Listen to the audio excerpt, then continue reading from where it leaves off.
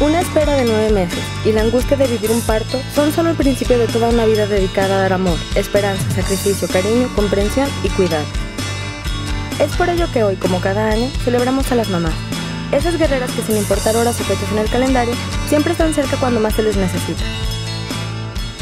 Siempre es eh, trascendental para cada uno de nosotros, es, es el referente del cuidado, de la protección, incluso eh, para nosotros desde el ámbito de la fe, pues es el mejor eh, referente de lo que es Dios, ¿verdad? Que, es aquel que nos ha dado la vida y que, el que nos sostiene con su constante ayuda, con su providencia. Bueno, creo que la Santísima Virgen nos, enseña eh, virtudes fundamentales como son pues un amor libre, un amor gratuito, incondicional eh, hacia, hacia el fruto de sus entrañas. Eh, nos muestra la cualidad de la humildad, de dar lo mejor de sí misma, eh, sabiendo que pues en el dar está la, la gratificación sin esperar recompensa. Un ejemplo de esta lucha y entrega que muchas madres libran cada día es la señora María del Carmen Molina Corral, mejor conocida como Yoli, quien desde hace 23 años es pepenadora en el relleno sanitario de Saltillo y con esta actividad ha logrado sacar adelante a ocho hijos. ¿Cuántos hijos tienes? Tengo cinco.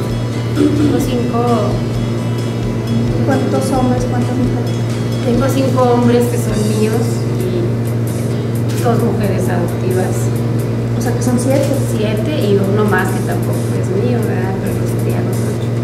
¿Cómo le ha hecho todos estos años para salir adelante con sus hijos? Pues trabajar muy duro y siempre he trabajado ahí en el relleno sanitario, de ahí ha salido para poder mantener escuela, todo, todo, todo lo que hasta ahorita tenemos, pues de ahí lo hemos logrado trabajando. ¿Y todos trabajan ahí? Todos trabajamos de adoptar o de ser eh, como suyos a unos muchachos que no lo ven? Pues tal vez por no verlos solos, porque estuvieran bien. Mm, No verlos en la calle de pandilleros o drogándose. Y vaya, si hay facilidades de uno poderlos apoyar a esos muchachitos, pues los apoyamos. Este, el cariño, porque desde chiquitos empezaron a, a apuntar mis hijos con esos otros niños.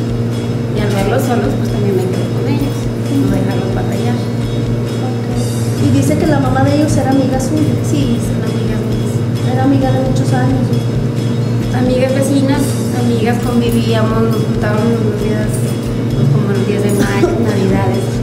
Les hacíamos ahí su comida y su comida. Y a partir de ahí, pues, ellas fallecieron y pues opté por quedarme con ellos. No legalmente, como dice. No, legalmente no. Viven conmigo, se quedaban conmigo, los mantenía yo. Este, ellos me ayudaban mucho también porque pues, estaban chiquitos, pero igual y tienen que hacer su quehacer. Y salimos adelante todos. Para una madre la vida no siempre es fácil. Traer hijos al mundo no significa estar sobre un lecho de rosas, donde todo es maravilloso. Se ríe y se sufre.